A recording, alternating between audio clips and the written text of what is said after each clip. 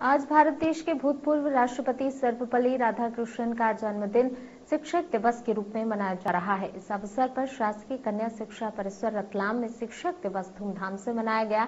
संस्था प्राचार्य संजय निर्मल, प्रसाद की अध्यक्षता और मुख्य अतिथि यशवंत वर्मा ने सर्वपल्ली राधाकृष्णन और माँ सरस्वती के चित्र पर माल्यार्पण कर इसकी शुरुआत की।